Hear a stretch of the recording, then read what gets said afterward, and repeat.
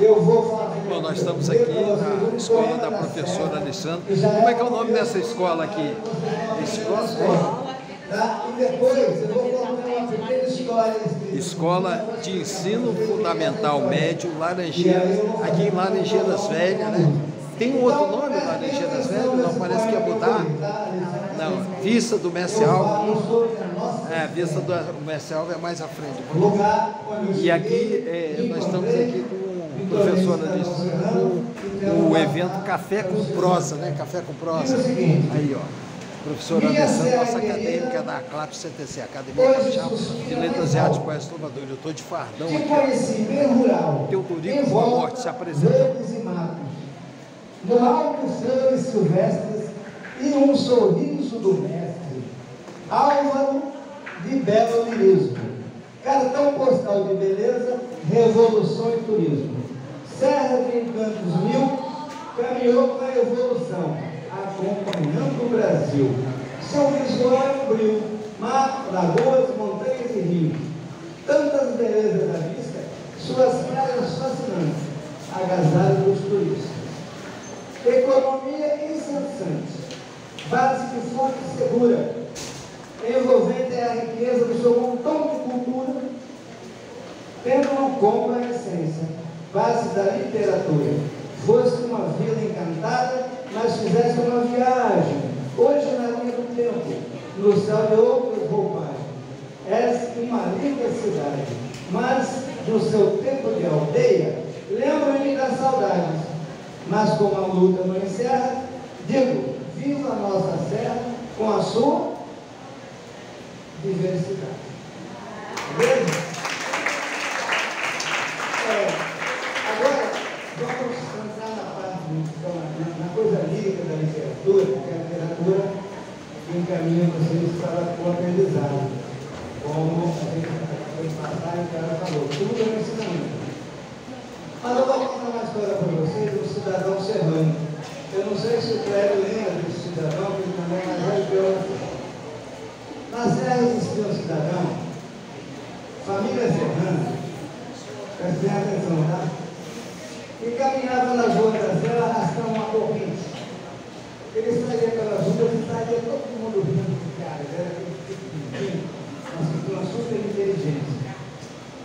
E todas as noites ele fazia isso. Só que ele era um cara do seguinte, ele chegava, pegava uma folhinha e botava na boca e tocava uma música.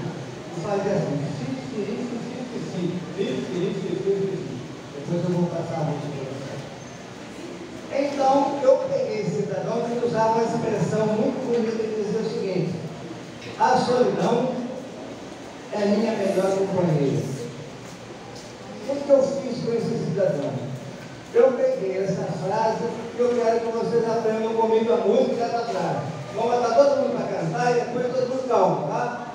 Então canta assim, quer ver? A minha solidão é minha companheira. Eu sou o inventor, inventor das brincadeiras.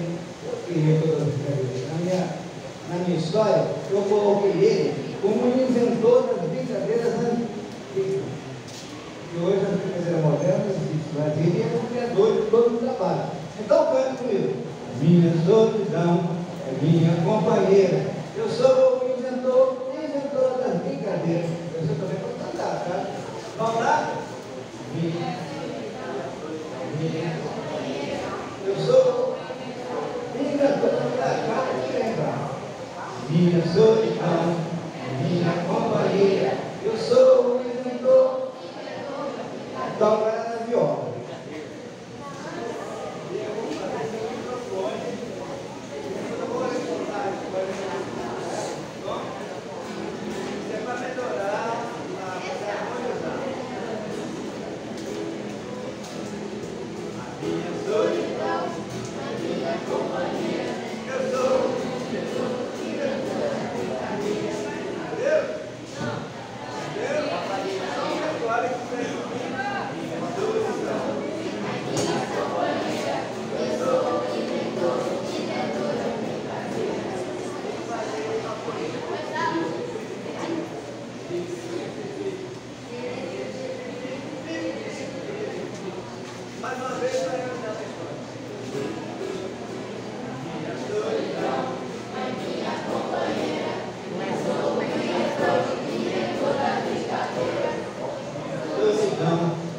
minha companheira. Eu sou o inventor.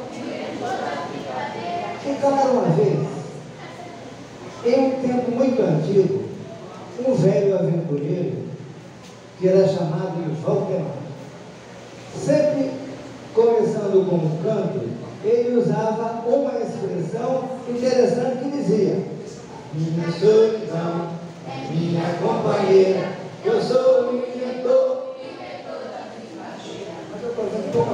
Minha solidão, minha companheira, eu sou o inventor, inventor da brincadeira. Com as suas barbas longas, cabelos brancos, compridos, roupas esfarrapadas e sujas, era um cidadão meio estranho para aquela época.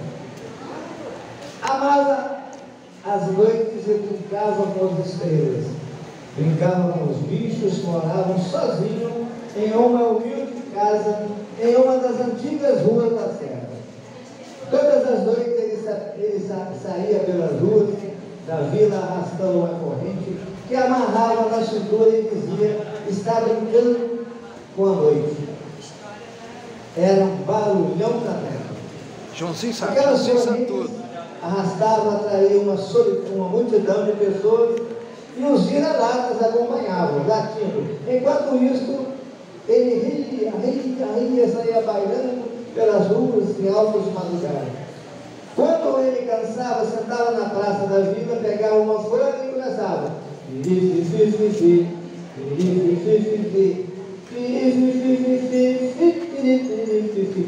Isso era todas as noites.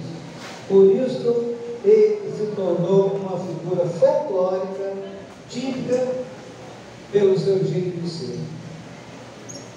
Com seus longos cabelos e barbas grandes, chapéu de palha, roupas enfarrapidas, ia ele todas as noites pelas ruas da terra.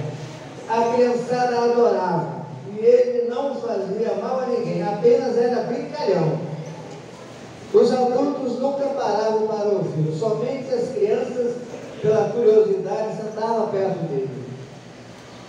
Um dia, quando ele estava na praça, rodeado pelas crianças, Joãozinho perguntou: Seu Valdemar, por que o senhor é assim desse jeito? Ele deu uma enorme gargalhada e respondeu: Eu sou um do tempo passado, enquanto os homens falavam, falavam com as matas, os animais, com os rios e com, e com a mãe terra. Meu avô era um índio, era o pajé de uma tribo tupi e dizia que era irmão das onças. Aprendi muitas coisas com ele. Eu sou o inventor das brincadeiras antigas. Eu faço peteca de palha de milho, faço bola de meia, faço carrinho de madeira de lata, faço flauta de bambu e outras coisas mais. Hoje já estou velho e cansado e fico a observar tudo, mas estou feliz porque ensinei esse meu ofício para as minhas netas. São muitas índias que estão espalhadas por todo esse Brasil, viu? Mas foi com muito carinho que, que fiz isso. Hoje, hoje, meu filho, elas vêm encantando nas escolas, fazendo as brincadeiras antigas e juntando com as de hoje. Assim vão mostrando às crianças a importância dos valores, dos saberes dos antigos, encantando na educação de hoje. Elas deram, eles deram um nome diferente para minhas netas. Sabe como é que elas são chamadas? De pedagogas. As pedagogas eram filhos do Valdemar, eram filhos do índio. E então, eu resolvi morar com saudade das coisas passadas e também porque um dia o meu coração disse: a minha solidão é minha melhor companheira. Estou cantando: a minha solidão é minha companheira. Eu sou o inventor, inventor da brincadeira. Uma outra história. Isso mostra que nós não devemos menosprezar ninguém. Você vê uma pessoa que, você não sabe o que você hoje vai ter grande coisa. Essa é uma viagem pela literatura. Isso faz com que vocês façam poesia, escrevam comigo e amanhã vamos estar aqui no Olho Mais Bom para falar. Então, ó, o Valdemar assim. E as pedagogos são filha dele, tá? É isso aí, ó.